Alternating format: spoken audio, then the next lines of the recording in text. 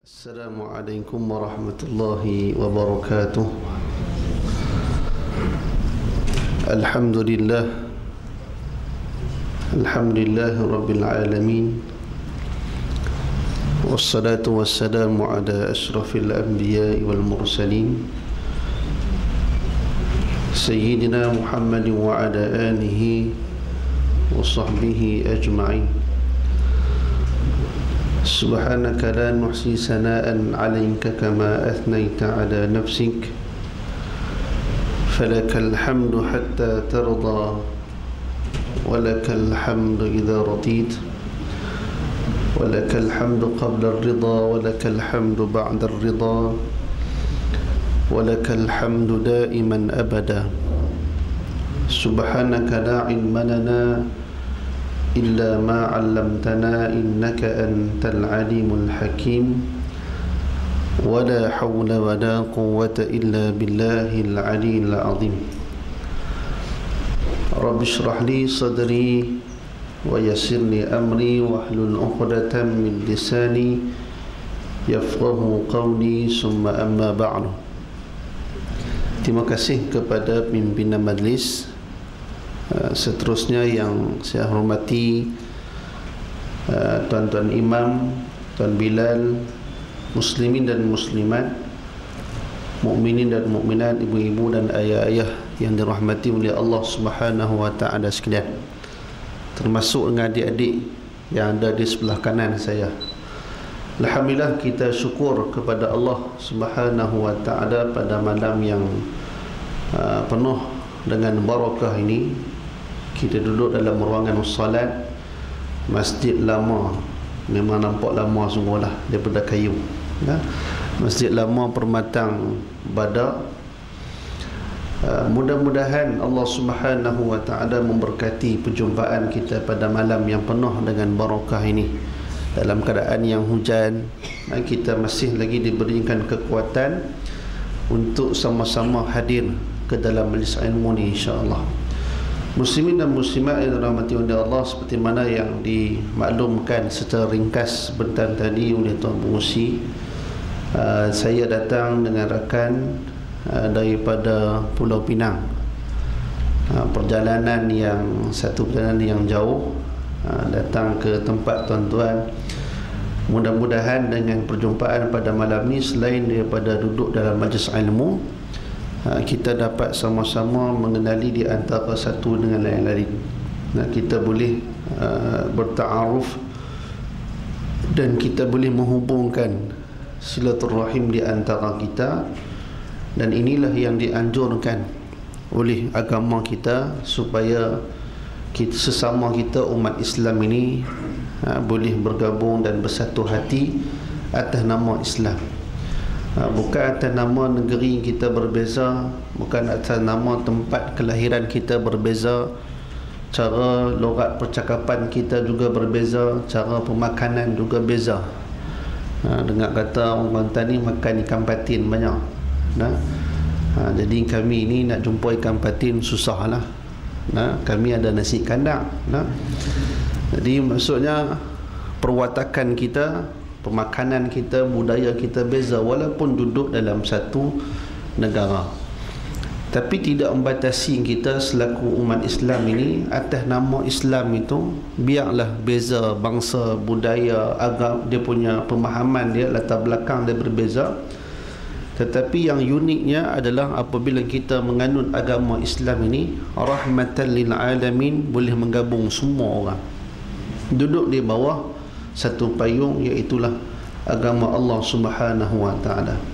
Dan agama Allah Subhanahu wa taala ini tidak lain dan tidak bukan dia ada hala tuju dia. Kita duduk atas muka bumi Allah taala bukan kita duduk saja-saja kita nak kenyangkan perut kita, kita nak puaskan nafsu kita. Kita nak dapat apa habuan yang ada atas muka bumi Allah taala ini. Tetapi kita ni ada matlamat. Iaitulah Allah taala firmankan dalam surah al-mulk natabarakalladzi biyadihil mulku wa huwa ala kulli syai'in qadir الذي خلق الموت والحياة ليبلوكم أيكم أحسن عملا نصدق الله العظيم الله تعالى سبب dalam ayat yang kedua dalam surah Al-Mulk ni allazi khalaqal maut.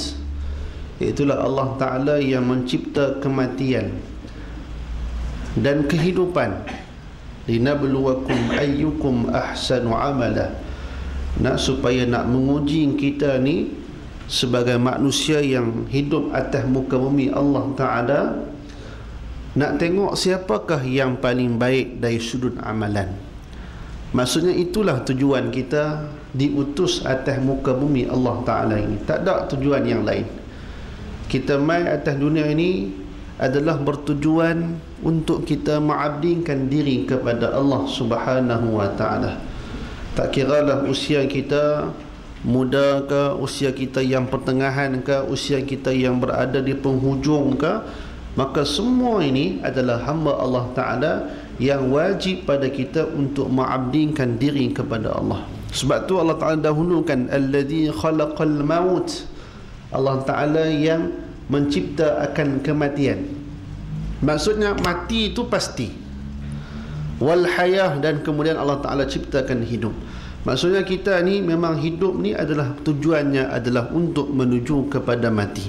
Tak kira lah maksudnya kita yang tua ke yang muda ke Semua ni tidak ada batas Allah Ta'ala bagi cukup dia punya rezeki dia Cukup dia punya masa dia Sampai ketibaan dia mati Maka dia akan dijemput oleh Allah Subhanahu Wa Ta'ala.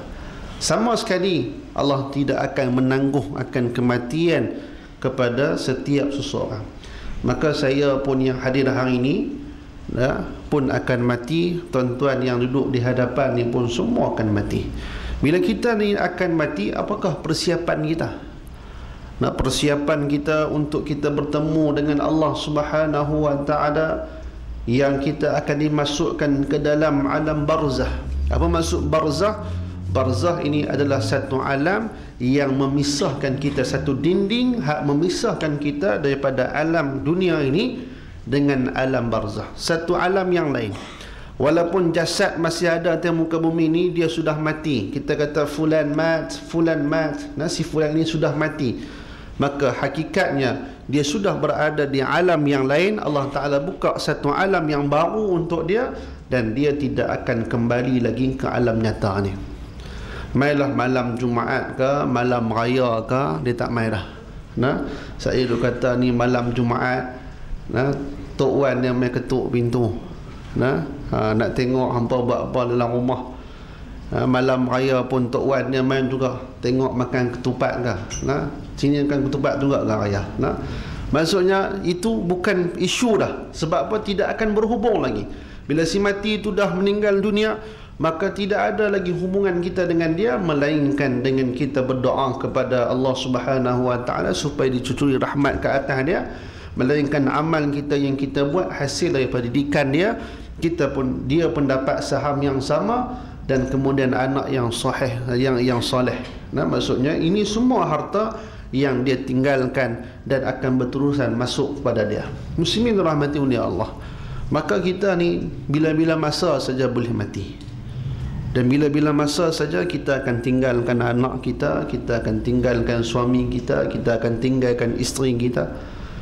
Kita akan tinggalkan semua apa saja yang kita ada dalam rumah kita apa saja harta yang kita miliki semua kita akan tinggal. Maka atas sebab itulah kita ni bila duduk atas dunia Nabi Nabi sallallahu alaihi wasallam pernah sebut jadilah kamu ni dalam keadaan yang dagang.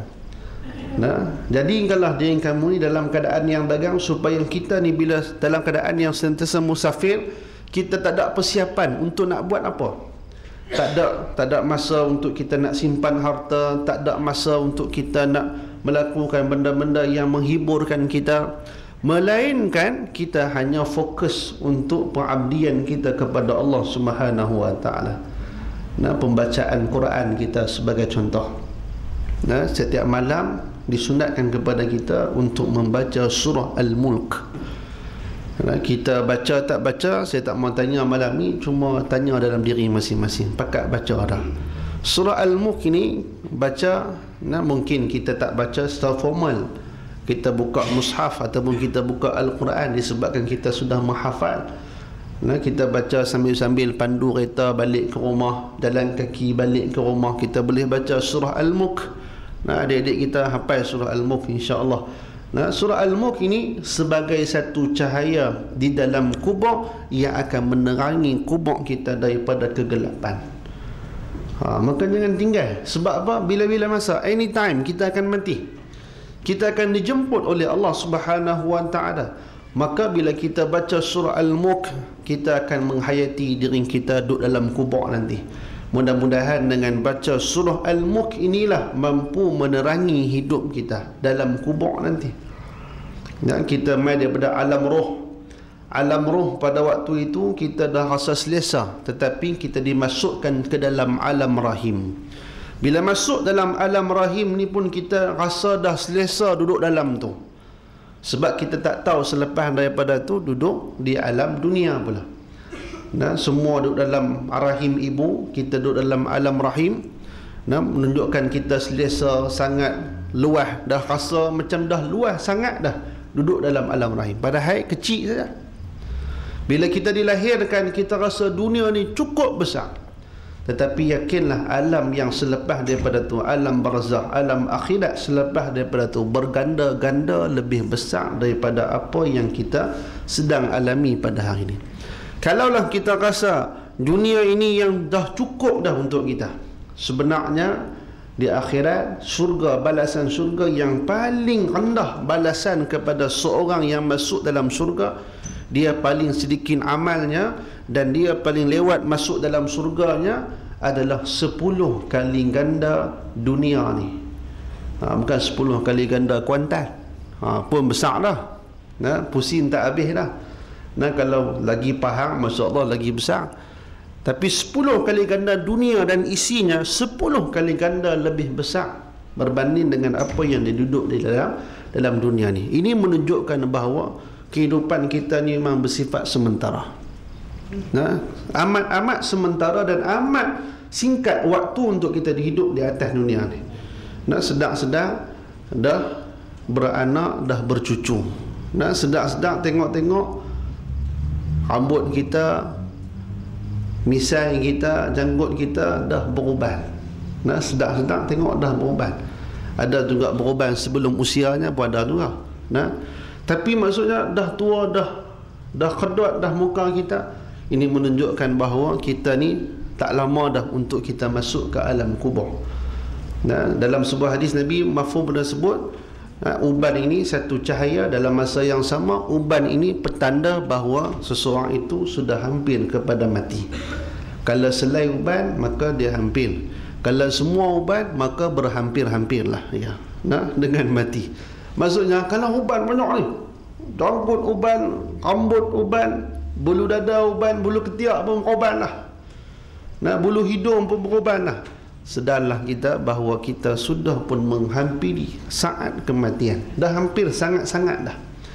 Inilah yang menunjukkan bahawa kita ni kena main ke masjid kita kena imarahkan masjid kita kena ada satu amal khusus yang kita kena buat. Nah, tak memadai dengan benda amalan-amalan yang wajib sahaja dan kita kena ada satu amalan yang sunat yang senantiasa kita lakukan secara istiqamah. Dan mesti kita senantiasalah kita ini untuk kita menghidupkan hati kita. Nah, sebab apa bila kita hidup hati kita, hati kita ni subur dengan Allah Subhanahu wa taala menyebabkan segala amalan kita akan diterima oleh Allah Subhanahu wa taala. Nah ibadah kita akan diterima oleh Allah dan doa kita pun akan dimakbulkan oleh Allah Subhanahu wa taala. Nah pernah satu ketika nah apa ni zaman Ibrahim bin Adham seorang ulama sufi. Nah seorang ulama sufi uh, anak murid dia bertanya apakah yang menyebabkan doa kami ini tidak dimakbulkan oleh Allah. Banyak berdoa tetapi tidak dimakbulkan oleh Allah. Dalam masa yang sama boleh kita katakan ibadah banyak tetapi tidak diterima oleh Allah Subhanahu wa taala. Maka jawapan yang mudah yang diberikan oleh Ibrahim bin Adham, seorang ulama sufi yang besar, dia mengatakan sebab kamu tidak diterima ibadah dan tidak diterima doa oleh Allah adalah menyebabkan hati kamu ni sudah mati mati sebelum daripada kamu dimatikan. Maksudnya seolah-olah macam kamu sudah mati. Apakah di antara tanda-tandanya? Nah tanda-tanda yang disebutkan oleh Ibrahim bin Adham. Nah disebut dalam bahasa Melayu teruslah senang nah. Iaitulah kamu mengenal Allah tetapi kamu tidak menunaikan haknya. Nah araftumullah wa lam tuaddu haqqahu kamu kenal Allah tetapi kamu tidak menunaikan hak-hak Allah Subhanahu wa taala. Iaitulah melakukan apa yang disuruh oleh Allah dan meninggalkan apa yang dilarang oleh Allah secara total. Kalaulah kita buat apa yang dilakukan mengikut kemampuan kita.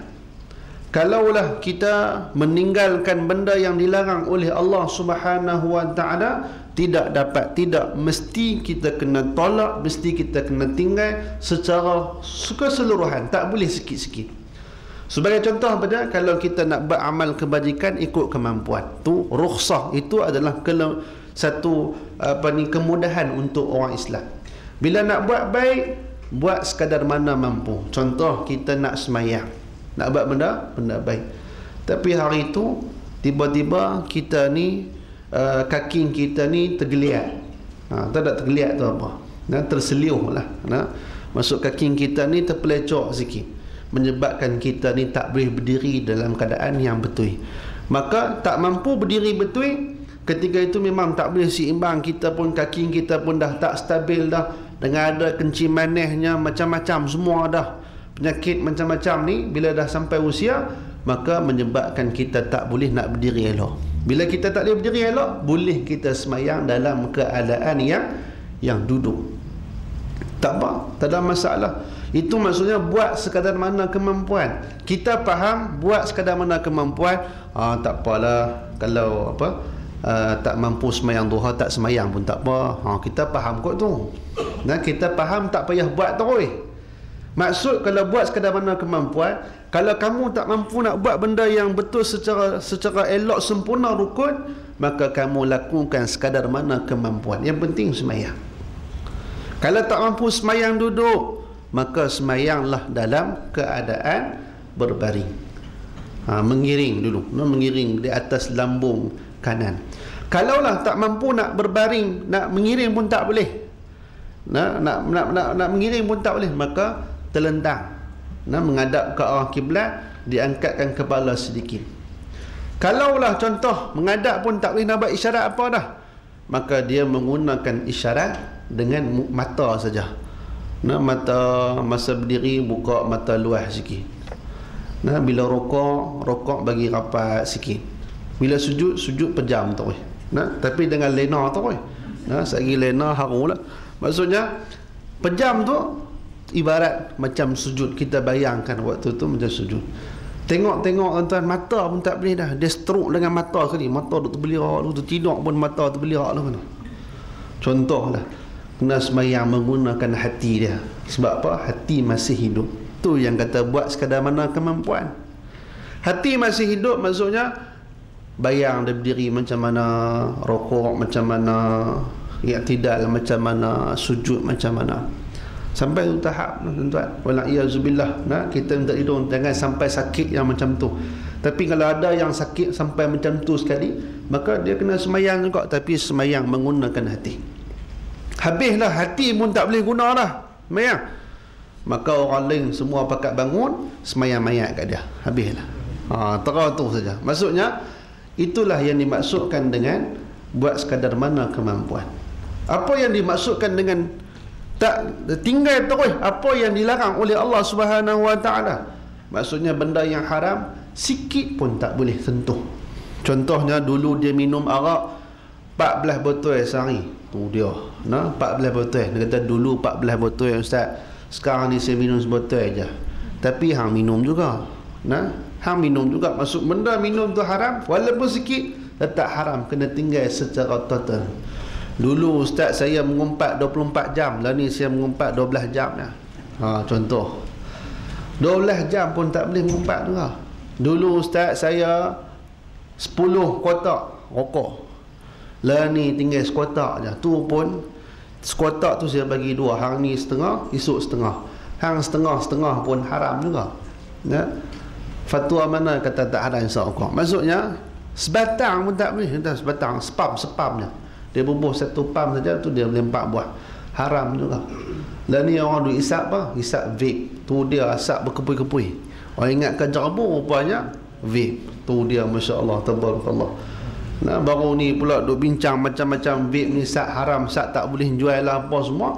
Ha, ini adalah perbincangan di antara mereka yang penggemar asap ni. Ha, bila penggemar asap kawan jin lah. Nah. Ha, jin ku suka lah asap-asap ni. Ha, jangan marah kat saya supaya insya Allah ni. Nah. Ha, maksudnya benda yang haram tinggal total tu tak boleh buat. Tak sikitnya, sikit, sikit pun haram. Nah. Sikit pun haram. Sebab apa benda yang haram mesti kita kena tinggal secara total, secara keseluruhan.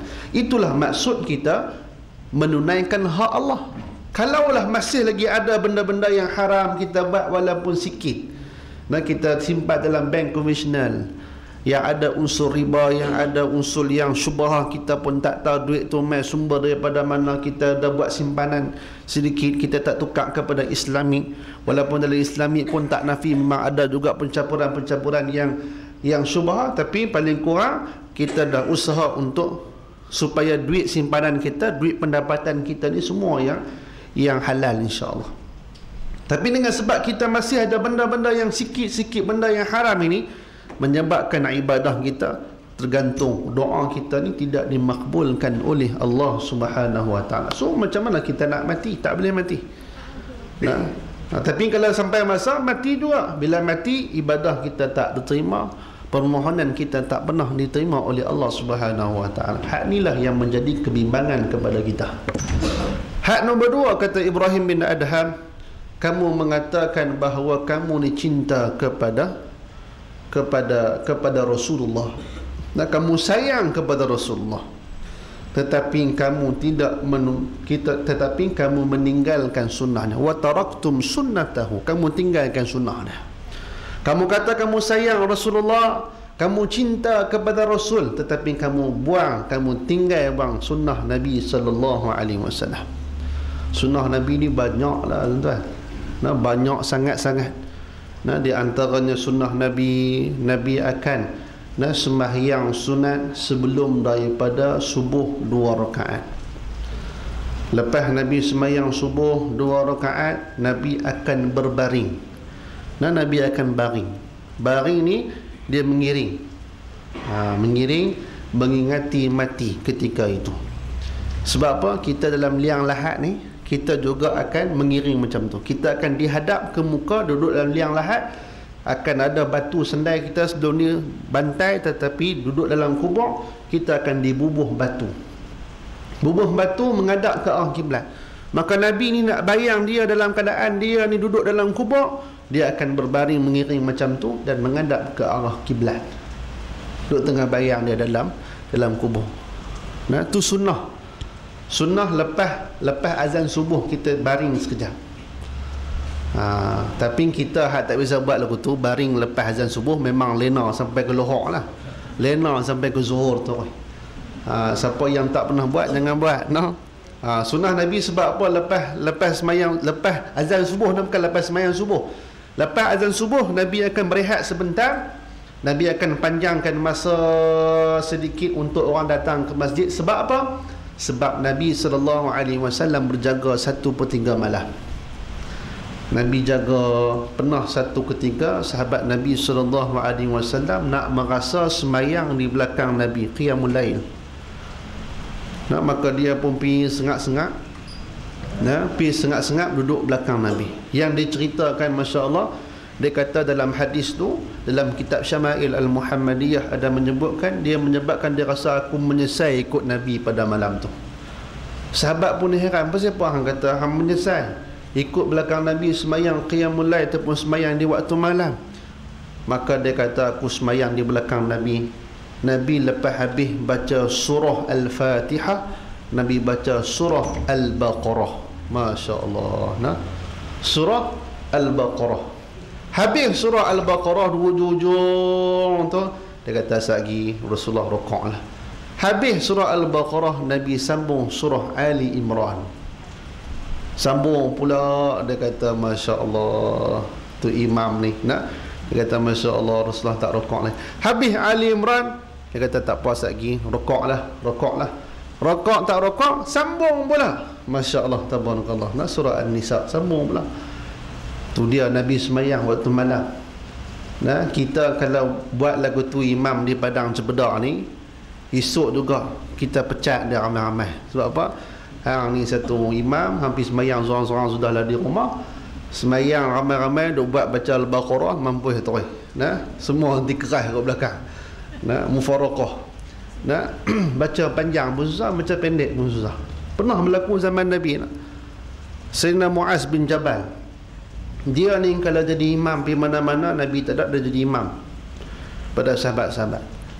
Baca ni punya panjang. Panjang sungguh-sungguh lah panjang sungguh.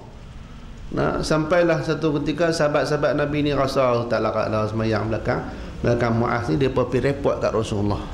Tapi cerita pada Nabi ni Muaz dia baca panjang sangat. Menyebabkan Rasulullah panggil Muaz bin Jabal.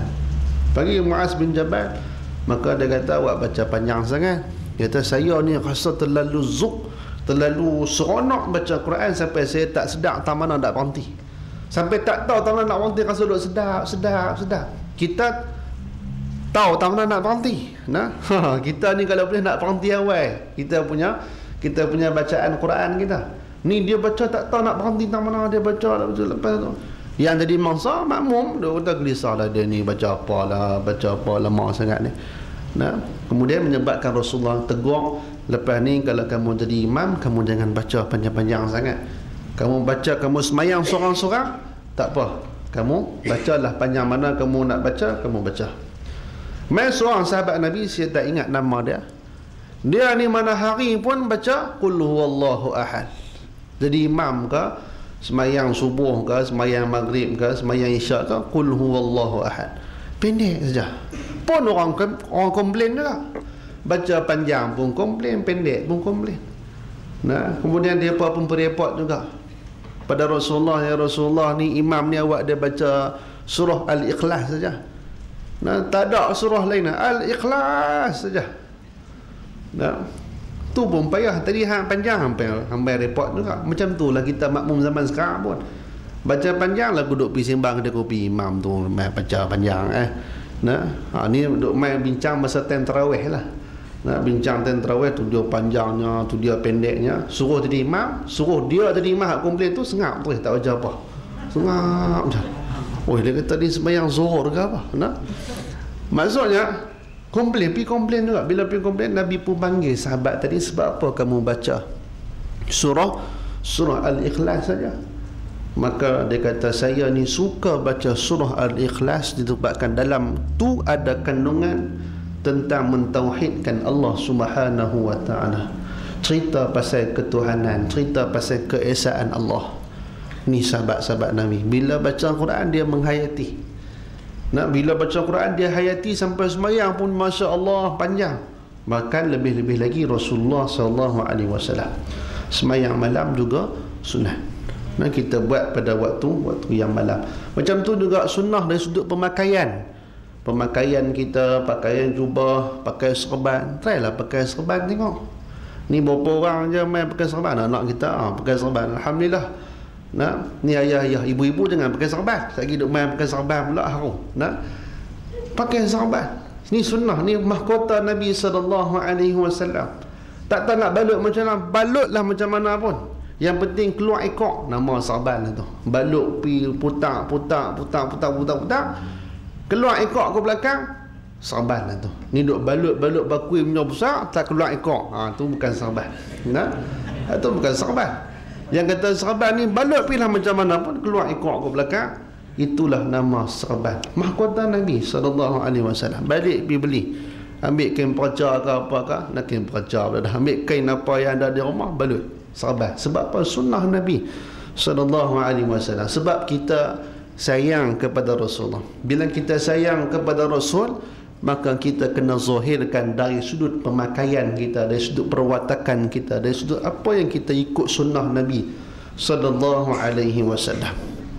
Nah, itu ha, yang kedua. Yang ketiga, kata Ibrahim bin Adham, kamu membaca Al-Quran tetapi kamu tidak beramal dengannya. Qara'tumul Quran wa lam ta'mal bih. Nah, kamu membaca Al-Quran tetapi kamu tidak beramal dengan Al-Quran. Allah Taala tak terima dia punya doa. Hati dia sudah mati, Allah Taala tak terima dia punya amal.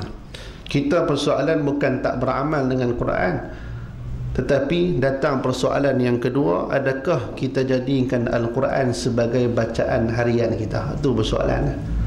Oh, kita baca tak Quran hari-hari? Tak? Ha, kalau tak baca banyak pun paling kurang ada juga lah waktu. Ha, di mulut kita kita membaca Al-Quran. Beberapa potong ayat Al-Quran yang mendatangkan maksud yang sempurna dan kemudian kita menghayati beberapa kisah-kisah yang terkandung dalam Al-Quran. Itu tadabbur. Kita menghayati dan kita cuba ukur dengan diri kita. Jadi ini adalah yang dimaksudkan dengan kita membaca Al-Quran dan kita beramal dengan dia. Ini bukan kata beramal baca pun tidak. Nah, bila baca pun tidak memang betul lah hati kita ni memang jauh dengan Allah subhanahu wa ta'ala. Nah, kita kalau nak dekat dengan Allah ha, kita membaca sering membaca Al-Quran. Faham ke tak faham ke itu nombor dua. Nombor dua.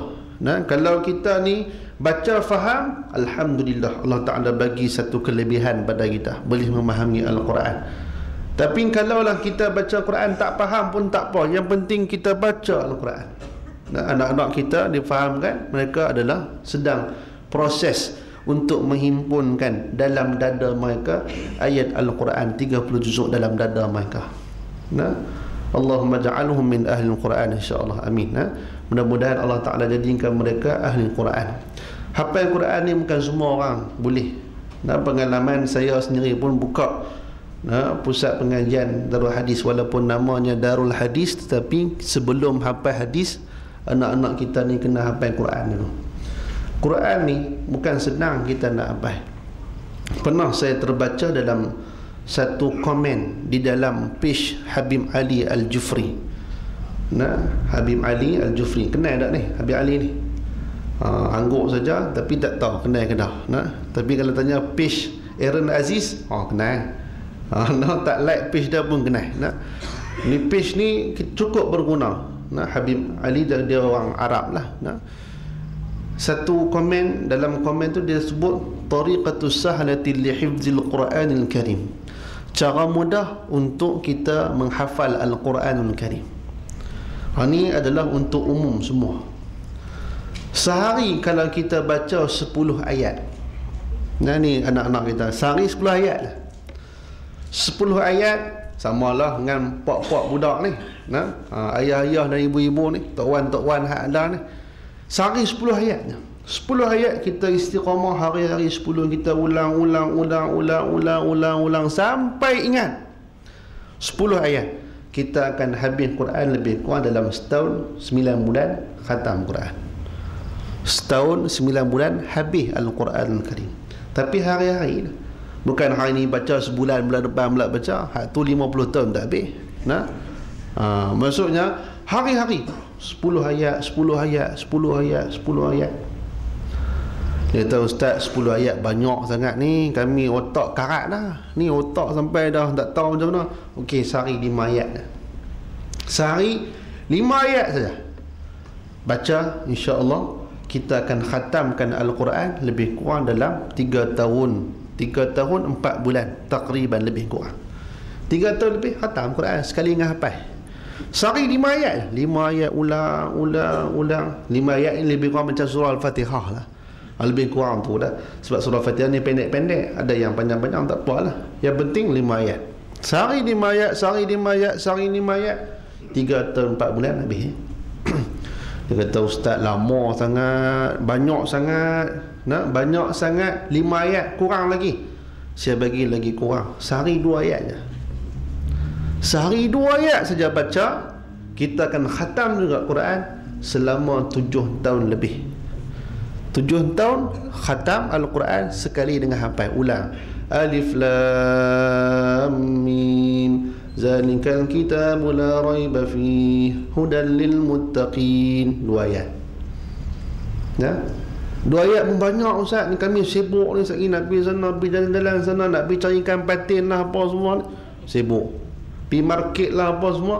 Tak apa. Saya kurang lagi sehari satu ayat lah. Alif Lam Mim. Pergi tidur. Esok sambung pula. Zanikal kitabu la raiba fih hudan lil muttaqin. Pi tidur, esok sambung pula ayat nombor tiga. Sehari satu ayat je. Ni cukup pemalas lah ni. Sehari satu ayat kita akan khatam Quran sekali dengan hafal um, selama tujuh belah tahun habis Quran. belah tahun umur anak kita SPM. Baik kita tolak umur SPM contoh kita mula-mula balik umur lima belah tahun paling kurang 15 tahun kita dah boleh baca Quran dengan baik sebab kita dah balik 15 tahun campur dengan 17 tahun umur kita berapa? berapa? 30?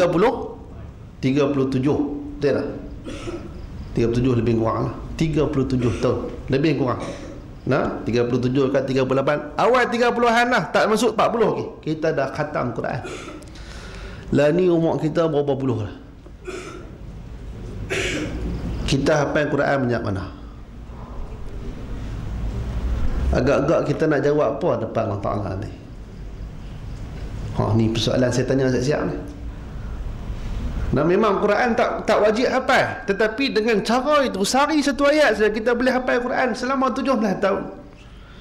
17 tahun tu dengan umur Allah Taala bagi umur pada kita 63 tahun. Kita ambillah umur sebenar nabi kita 63 tahun.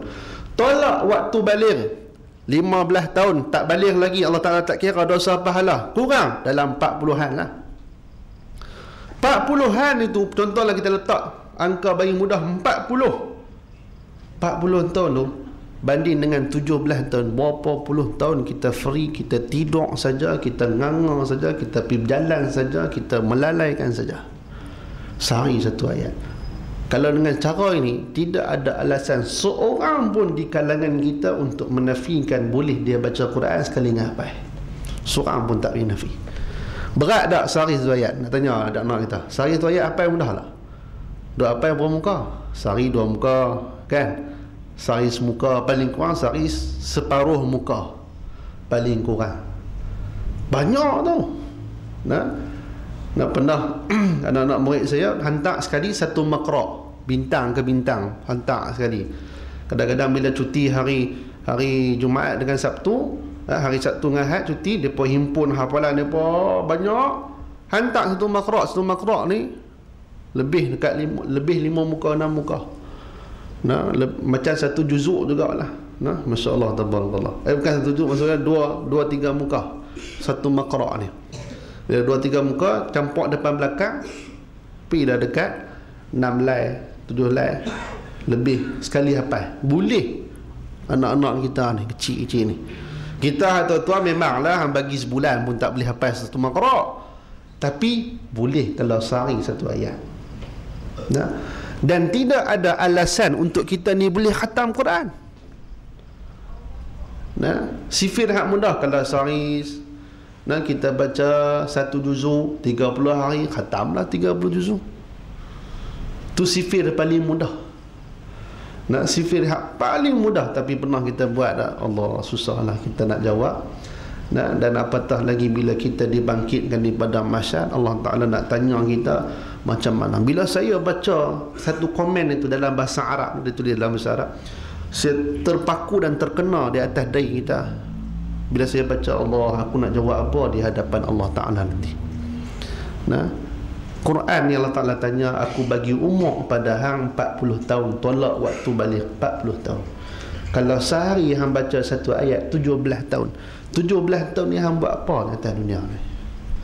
Tu tengok Facebook kan tu tengok WhatsApp nah duk pergi mancing menjala nah hak tu lah kerja dah Masya Allah tabarakallah. Nah ini benda yang kita kena kita kena letak beban ni atas kepala kita, kena letak beban ni atas bau kita.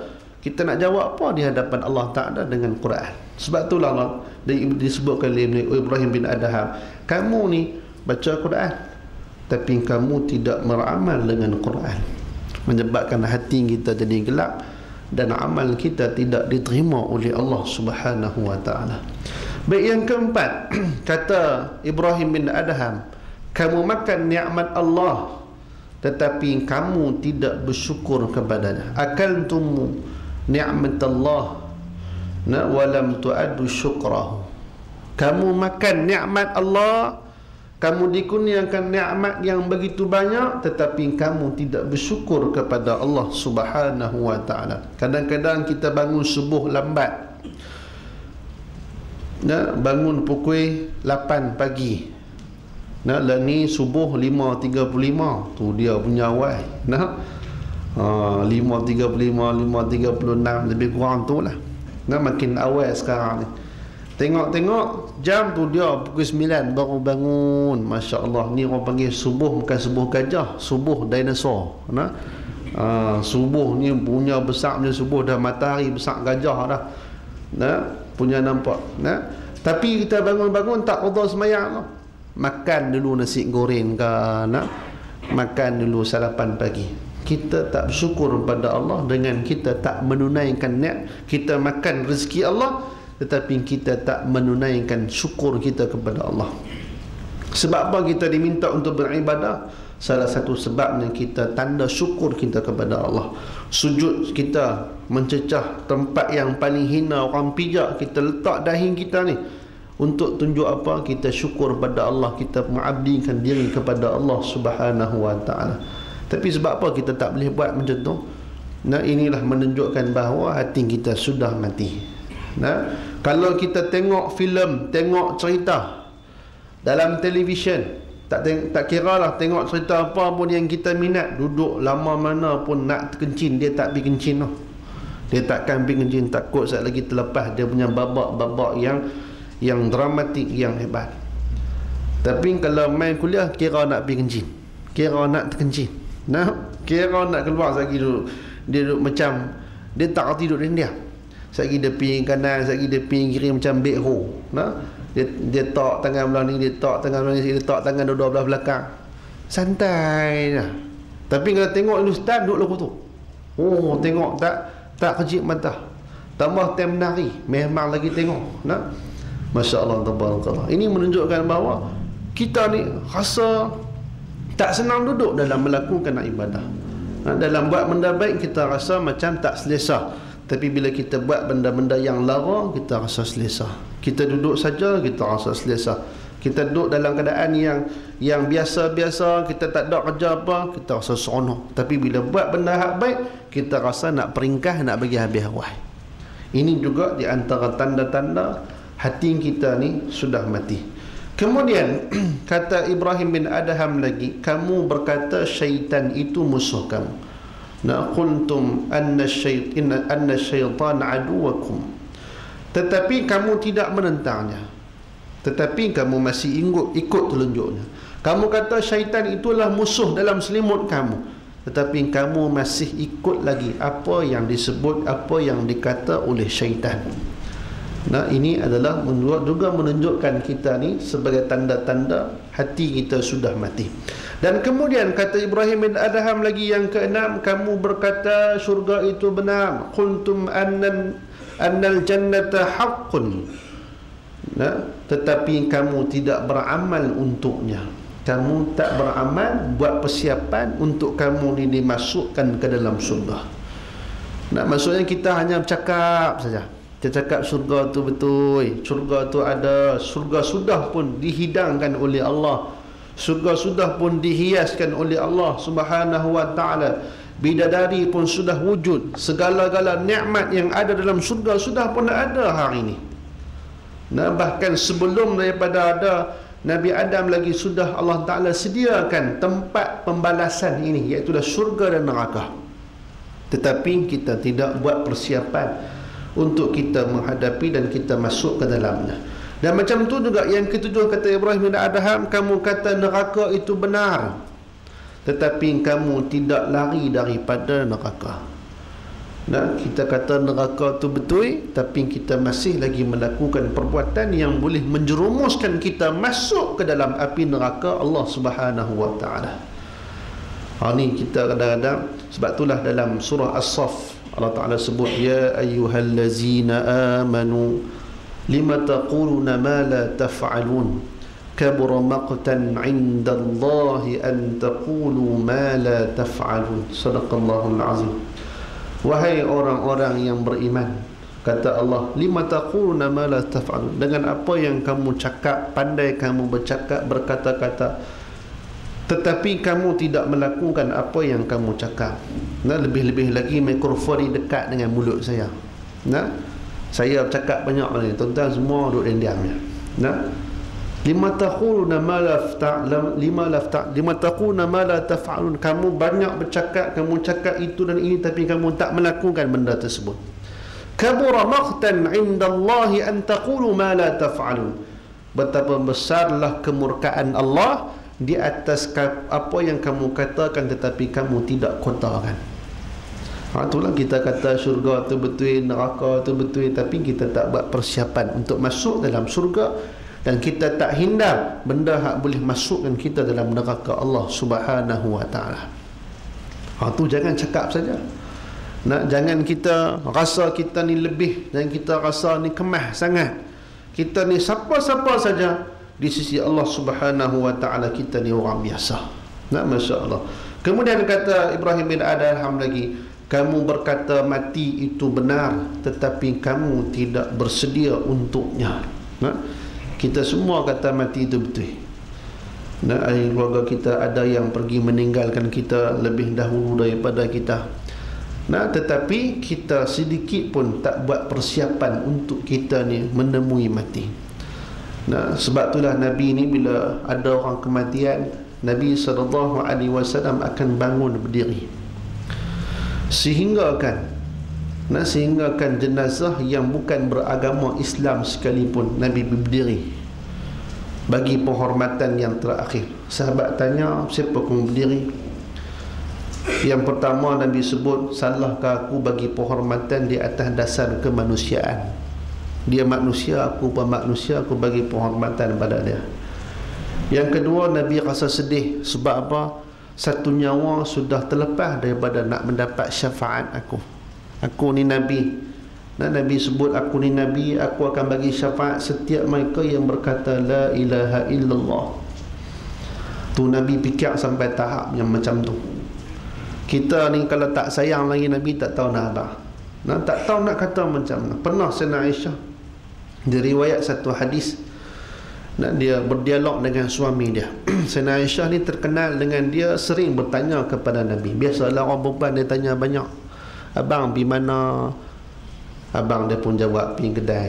Pergi kedai dengan siapa? Sagi balik. Mungkin apa? Pergi makan apa? Semua dia tanya. Nah.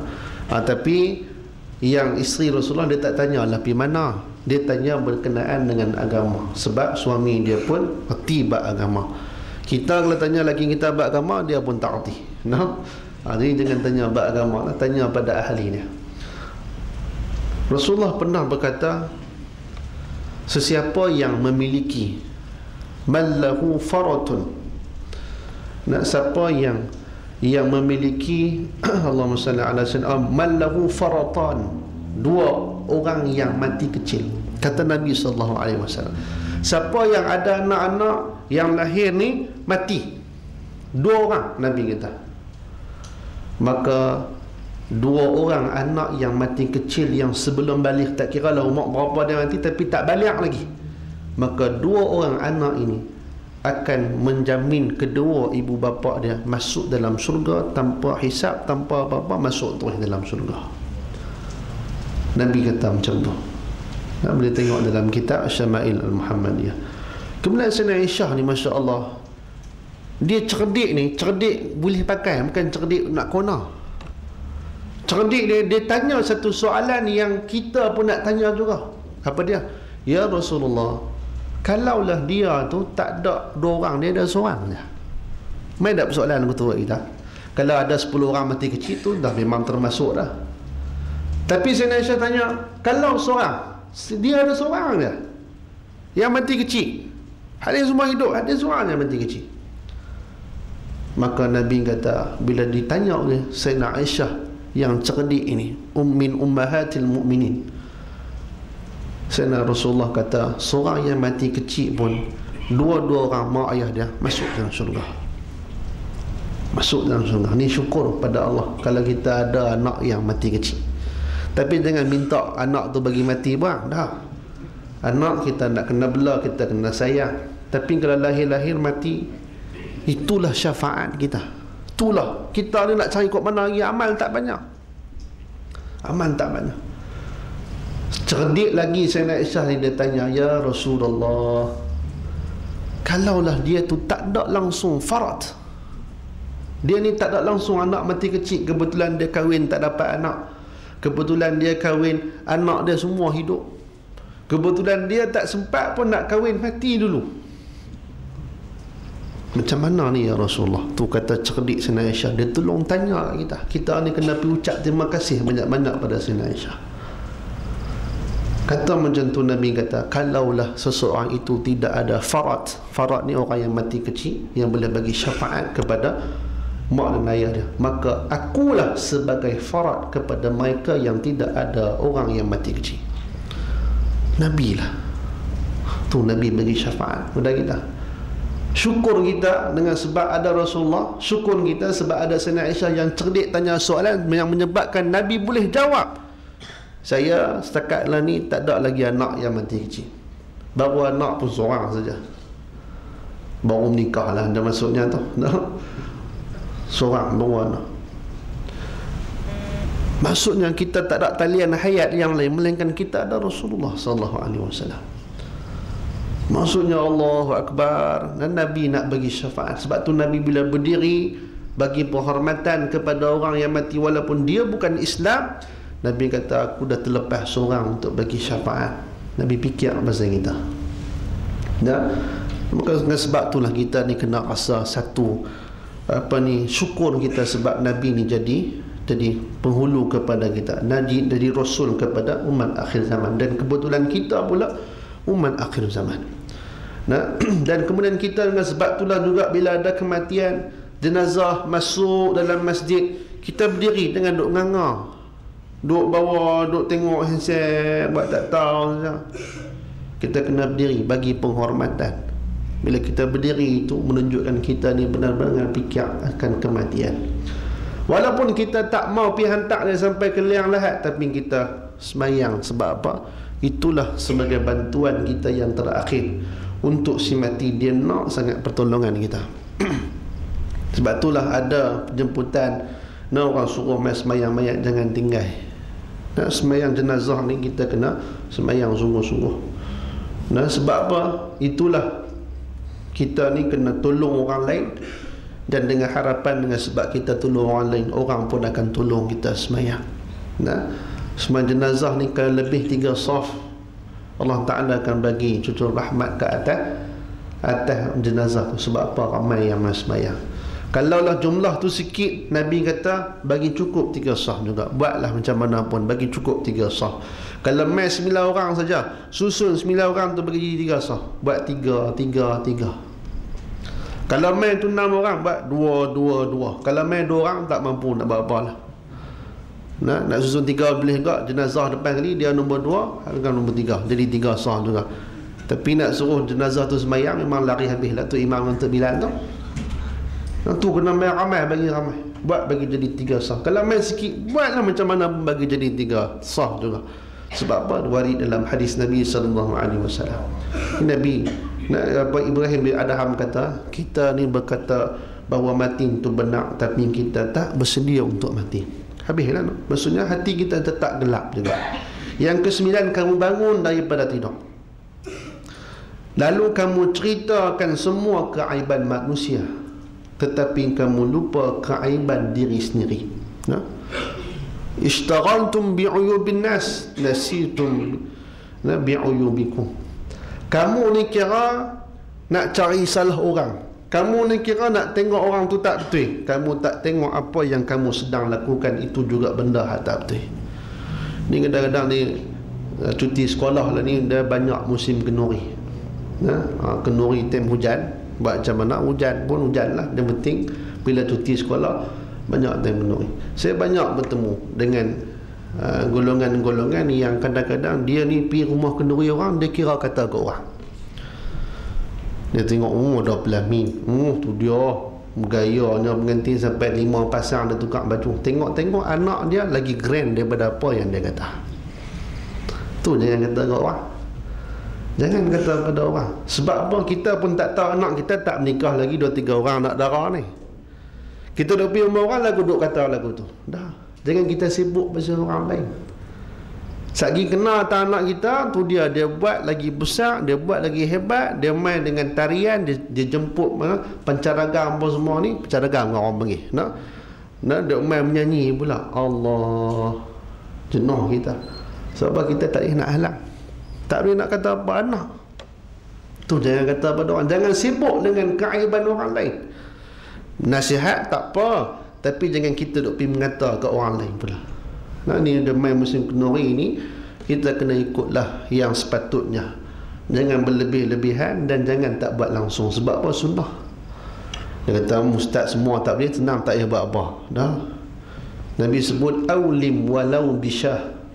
Dan buatlah kenuri walaupun sekok sekok kambing. Ha, maksudnya paling kurang sekok kambing lah harga kenuri tu. Tapi takkan beli kambing saya tengok kambing tu. Nah. Ha, mesti nak kena sembelih nak kena beli rempah nak kena buat kurma ke nak kena buat gulai ke apakah nah betul takkan makan kambing saja? Mestilah ada nasi ke apa. Betul takkan makan nasi saja? Mestilah kena ayam juga tercekik mampu sekali nah. Jadi paling kurang duk campur pimai-pimai seribu lima ratus. Habislah. Ha, tu paling kurang kenuri lebih pada tu kalau tak mampu tak wajib buat. Membazir pula. Nah sebab itulah hak kenuri ni adalah hak pengantin lelaki. Pernah tak kita ada di pak mentua ni anak kita ni perempuan kita buat kenuri belah rumah perempuan tu selalu adatnya begitulah. Adat kita orang Melayu ni kenuri belah perempuan dulu. Pernah tak kita minta izin? Ni ayah nak buat kenuri dulu belah rumah perempuan belah rumah anak ni pernah tak kita minta? Tak pernah. Kita pun pernah jadi menentu tu lah. Tak pernah pun pak mentua kita minta izin. Sebab apa? Hak kenuri atas orang lelaki pengantin lelaki. Nah. Ha, tu benda yang sunat lah. Tapi nak buat tak ada masalah buatlah. Tak ada masalah cuma nak buat hukum yang sebenar. Kemudian bila kita dah angkat nikah ni sunat buat kenuri ni setelah mana suami dan isteri tu duduk sekali dulu sunat begitu. Maksudnya dah angkat nikah hari Khamis kenuri hari Sabtu. Ha, cantik ha, duduk sekali dulu cantik. Tapi kita ha, Dia kata hang takkan baru angkat nikah nak piduk sekali kau hang ni nampak galak sangat eh? Ni keluarga kita ni main daripada Pulau Pinang menikah orang Pahang jangan buat malu sangat orang Pinang ni. Nah, dia duk kata lagu tu kat anak dia. Anak dia lelaki dan menikah main rombongan daripada Pulau Pinang main menikah orang Pahang menikah hari ni so nak kenuri. Jadi malam ni dia pun semangatlah kata malam ni ingat nak tidur rumah pak mentua lah. Dia kata kat ayah dia, hang jangan buat malu orang Pinang. Galak sangat sabak-sabak lah sama. Jangan kita cakap lagu tu. Sebab apa? Benda dah halal. Dibimbangin kita cakap lagu tu kita telah mengharamkan apa yang telah dihalalkan oleh Allah. Benda dah halal bahkan sunat macam tu kalau orang tak mau buat tak apa tak mau duduk malam tak apa tapi jangan duduk kata galak kata apa ni tak pernah dibuat orang eh bohong tak pernah dibuat hang yang tak tahu nah Masalahnya yang sunnahnya lepas akad nikah duduk serumah dulu. Ha, faham-faham lah duduk serumah tu buat apa? Ini sejuk-sejuk pula ni kan? Maksudnya faham-faham lah buat apa tu. Benda dah halal. Tapi sebab apa masa tem tunang? Bila tem tunang tak halal lagi, keluar rumah sekali, pergi baju sekali. Han tak kata galak benda tu pergi beli baju hantaran sekali baju hantaran ke hantaran ke beli apa semua belanja apa semua nak beli nak kuat baju nak pergi apa semua pergi sekali tak rasa benda tu galak tak kata benda tu haram tapi bila dah angkat nikah nak tunaikan hak sebagai seorang suami dan sebagai seorang isteri nak duduk sekali dulu baru kenuri nak bagi rasa itulah nikmat. Nah diberikan nikmat oleh Allah Subhanahu wa taala baru buat kenuri sunnah macam tu. Dikatakan galak dikatakan buat malu keluarga. Tak betul lah kita ni ada nak buat kenuri ni kalau kita pak mentua ajak menentu lelaki tu ha, malam ni dah kat nikah main lah tidur sekali. Main tidur rumah ha, tengok tengok pak dah suruh tidur kat luar nah? ha, ni yang main tolong basuh payuk dulu apa semua kan? Ha, tak apalah paling korang duduk serumah. Tu yang sunnahnya duduk sekali tu tu. Ha, ada orang kata ustaz ni kalau mereka kahwin dekat nikah apa semua duduk sekali dulu nanti tak berseri. Tak berseri memang tak berseri lah dah, dah boleh kahwin tapi tak boleh buat apa. Duduk masam tak boleh buat apa lagi tapi try tengok bagi duduk sekali dia senyum daripada awal kenuri sampai basuh periuk lagi dia senyum situ sebab apa Alhamdulillah dah boleh kahwin dia kata syu'ur kahwin no? sebab apa itulah nikmat no? adik-adik kita pun gelak pun hampa ni galak kan eh? no? ha, sabar-sabar semua bagi habis Quran dulu no? maksudnya kita ni jangan buat benda hak adat jangan kita duk tumpu tang adat sangat sebab apa benda hak lain kata boleh syarak kata boleh. Maksudnya bagi mudah. Nah ha, belanja tu bukan satu benda hak wajib pun. Nah kita mempermudahkan orang nak kahwin. Sebab apa? Kita suka. Kalau orang ni kita ada nak darah kita ada darah perempuan anak perempuan. Orang main minang anak kita tengok pembagus jaga semai kita rasa terharu dah ni ada orang nak sudi kahwin dengan anak kita. Seronoklah. Takkan kita tak boleh nak buat lebih kurang bagi mudah urusan. Ha, itu di antara yang kita boleh lakukan. Baik tak apalah no. Ha, tu cerita sikitlah pasal kahwin. Yang terakhir, nah, kok ada seorang nak nikah seorang lagi ke boleh dia praktik benda yang sama lah. Nah, ha, kok kok tak tahulah ni ha, ayah-ayah kita ni. Baik, yang ke-10 kamu kebumikan nah dafantum mau amwat dafantum mautakum tetapi kamu tidak mengambil iktibar daripada mereka. Ya? kamu mengebumikan jenazah-jenazah kamu jenazah-jenazah ataupun sahabat-sahabat kamu saudara-saudara kamu kamu kebumikan. Tetapi kamu tidak mengambil iktibar daripada pengkebumian mereka. Nah, berapa banyaklah kita pi, jenazah, pi usung jenazah kita iringi jenazah. Tetapi kita tidak mengambil iktibar Bahkan kadang-kadang mezarah rumah kenuri keluar asap berkepui-kepui lagi. Oh, hisap rokok pula. Nah. Uh, pi ziarah pi sampai ke kubur bagus punya duit hisap rokok lagi. Nah, atas kubur. Jangan. Sebab apa kita termasuk dalam yang ke-10 kita mengkebumikan jenazah tetapi kita tidak mengambil iktibar di atas apa yang kita sedang lakukan. Jadi ini 10 perkara secara ringkas yang saya boleh sampaikan pada malam ini ialah berkenaan dengan hati kita ini akan subur ha, bila 10 perkara ini tidak ada dalam diri kita.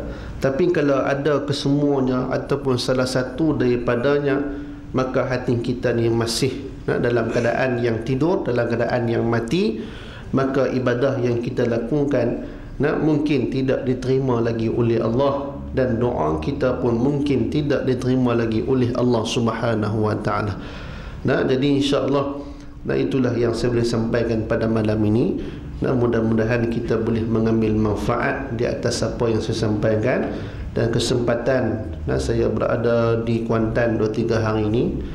Nah, kami datang uh, untuk uh, sama-sama kita nak melakukan kebaikan dari sudut amal jariah siapa yang nak buat nah itu satu benda yang baik ialah dengan kita sama-sama menyumbang Uh, kepada pusat pengajian darah hadis Pulau Pinang yang baru ni Alhamdulillah kita dah berjaya selesai pembelian tanah di Pulau Pinang seluas 5.45 ekar dengan harga 2 juta lebih. Kita dah selesai dah bayar. Itu duit yang sebelum ini yang kita dah bayar. Dan sekarang insya-Allah kita dalam proses nak mengumpul untuk pembangunan pula ha, jadi insyaAllah siapa yang berminat untuk nak buat saham akhirat. Ha, berilah sama-sama. Kadang-kadang kita ni mungkin tak mampu untuk nak bina satu pusat pengajian tetapi dengan kita ada sedikit keuangan untuk nak sama-sama menolong insyaAllah Allah Ta'ala bagi kebaikan. Saya bulan puasa baru ni pergi ke KL ada satu pejabat saya tak mahu sebutlah pejabat mana memang satu-satunya pejabat di situ lah kalau saya abang memang kenal. Dia punya bosnya Nah, Masya Allah Saya bagi kuliah zuhur pada waktu tu. Lepas kuliah zuhur Dia panggil saya uh, Naik ke pejabat dia. Dia pun panggil kerani dia. Dia kata Ustaz uh, Saya nak bagilah sikit Apa yang saya ada ni Nak kongsilah dengan Ustaz. Dia pun sign check. Sign check berjumlah 50 ribu Nah, yang ingat kan 50 ringgit. Kita ni tak pernah tengok emak besar-besar ni. Nah. Ha, lah ni baru duk belajar lah sign check sikit-sikit. Dulu ni tak arti apa. Nah. Kita ni bukan kaya sangat pun. Nah duit tak banyak mana. Nah. Kemudian dia sign check 50 ribu. Dia kata ustaz sambil-sambil dia serah pada saya saya ni tak mampu nak buat macam ustaz. Tak mampu nak berjihad macam ustaz buat. Maksudnya berjihad mendidik masyarakat nak bina madrasah dan seumpamanya. Tapi saya mampu bagi duit sebanyak ni sikit saya mampu. Mudah-mudahan jihad saya dari sudut ekonomi nak bantu orang Islam yang lain mudah-mudahan Allah Ta'ala terima. Saya bila dengar lagu tu Allah rasa sebab dalam hati ni sebenarnya inilah yang disebut oleh Dr. Yusuf Al-Qaradawi dalam kitab dia Fiqhul Jihad. Kita dok berasa jihad ni pegang pedang pergi duduk dalam medan perjuangan. Tidak. Jihad ni maksudnya umum. Memanglah itu nama dia jihad juga. Jihad yang paling tinggi kedudukan. Bila ada orang main serang kita Main mengganggu-gugat kita punya ketenteraman Maka kita wajib mempertahankan hak kita. Kalau kita mati, kita mati syahid. Tapi dalam situasi itu tak sampai lagi ke tempat kita.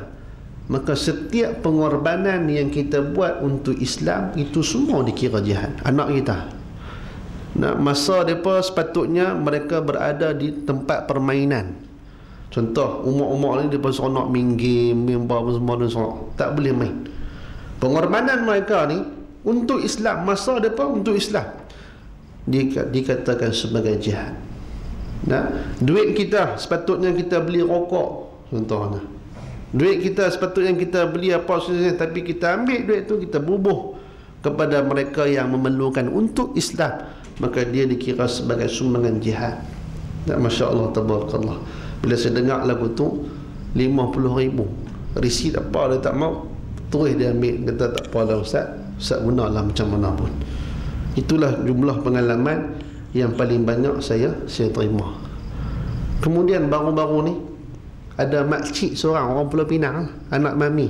Nak umur 70-an tapi bawa kereta laju lagi bawa kereta CRV potong kita laju. No dia kata ustaz saya nak jumpa dengan ustaz. Dengar kata ustaz nak beli tanah. Ya berapa lagi baki. Saya pun kata 1.8 juta lagi baki pada waktu tu.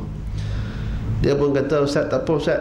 Hari ni kameh ustaz saya nak derma pada hari hari Jumaat. Jadi ustaz boleh tak main tolong jumpa saya hari Jumaat di bank Islam? Sekian-sekian tempat saya pun kata insyaAllah nak makcik. Makcik nak bagi berapa dia kata ada lah lebih kurang sikit-sikit tu. Tak makcik nak bagi berapa tak apalah ustaz main dulu kita pun duk tekan. Juga lah dia duk tekan kita. No. Tak apa ustaz main dulu. Main main masya-Allah makcik tu memang dah tua dah. Dia tulis atas borang dia tak ada cek tulis borang nak berpindah daripada akaun Islam ke akaun Islam kami ni. Dia tulis 100 ribu Masya Allah saya tengok Makcik ni seratus ribu. Tua dah. Dia kata ni makcik duit siapa ni? Saya kata Saya ni rompak makcik pula Tak? Ustaz ambil lah Risi apa tak payah. Ustaz ambil saja. Ustaz beli tanah. Saya dah banyak dah bagi. Mereka nak beli bangunan banyak Saya tak ada lagi saham untuk nak beli tanah.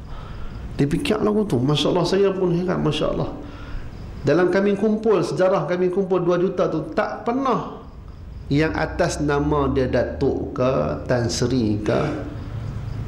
Atas nama pangkat yang besar duit income mula-mula banyak ni. Bagi dengan jumlah emas yang besar melainkan orang yang miskin macam kita ni dia bagi 100 ribu dua orang. Dua orang bagi. Tu ranking paling banyak setakat lah ni. Masya Allah Bila kita tengok insan ni dia pun tak ada. Duk kejan kita ustaz mana risit tak sampai lagi? Apa semua. Memang betul dia serah dan memang dia yakin sungguh dan itulah yang dia nak. Orang macam ni saya rasa masya-Allah tabarakallah dia tidak ada apa-apa lah kepentingan untuk dia. Dia tak rasa dah duit tu boleh membahagiakan dia. Tetapi dia dah tak sabar-sabar yang boleh membahagiakan dia adalah balasan daripada Allah Subhanahu Wa Taala. Nah, ya alhamdulillah duit tanah memang dah tak ada tutup rapat dah. Pahala untuk tanah dah selesai tapi kita buka satu wakaf yang baru adalah untuk pembangunan. Dan pembangunan ini kos dia pun mungkin sampai mencecah 2 juta lebih. Nah, dan insya-Allah siapa yang nak membantu kita bolehlah sama-sama dan mungkin dengan cara bank in sebulan 10 ringgit pun tak apa setahun baru 120 ringgit nah kita bayar duit istro bil sebulan pun 120 ringgit sekali bayar saja sebulan-sebulan nah tapi masya-Allah nah ini adalah saham kita dan kita boleh buat secara bulanan dan siapa yang nak buat rebat cukai pun boleh. Nah kemudian siapa yang uh, nak ada duit syubhah nah duit yang dia tak tahu halal ke haram nah, daripada EPF dan dan KWSP nya dan seumpamanya juga boleh disalurkan kepada kita nah kalau duit yang zakat duit yang subhah kita masuk kita simpan dalam bank Islam. Kita Islamkan dia dulu. Nah. Ha, tu saya saja istilah saja. Tapi kami nak asing account sebab kita ada empat account. Nah siapa yang dia tujuan untuk pembangunan maka boleh salurkan pada bank. Maybank kita ada CIMB kita ada dan bank rakyat pun kita ada. Dan insyaAllah di luar sana ada pamphlet ada kalender baru 2016 ada juga jualan amal di sana. Ada kitchen lah apa bag dan seumpamanya boleh miliki. Dan semua tu kita anggap sebagai jualan amal. Dan semua tu kita akan salurkan kepada dana pembangunan kita insyaAllah. Jadi siapa yang lepas ni main Penang main singgah ke tempat kita tengok itulah hasil pembelian daripada kita. Tapi jangan tanya saya ustaz saya bagi dulu tahun 2015 dulu 50 ringgit tak mana ustaz buh 50 ringgit tu. Ah jenuh nak pergi cari tak mana 50 ringgit tu. Nah ha, tapi insyaallah dengan apa yang kita bagi malam ni akan Allah Taala catat dalam dalam uh, dalam apa ni pahala kita insyaallah. Jadi sekarang itulah dulu. Wallahu taala a'la wa alam أقول قولي هذا وأستغفر الله العظيم ولكم والسلام عليكم ورحمة الله وبركاته. بسم الله الرحمن الرحيم. الحمد لله رب العالمين. حمدا يوافي نعمه ويكافئ مزيده. يا ربنا لك الحمد كما ينبغي جلال وجهك وعظيم سلطانك. اللهم فقهنا في الدين وعلمنا التأويل. اللهم اهدي قومنا فإنهم لا يعلمون. ربنا آتنا في الدنيا حسنة وفي الآخرة حسنة وقنا عذاب النار. صلى الله على سيدنا محمد وعلى آله وصحبه وبارك وسلم والحمد لله رب العالمين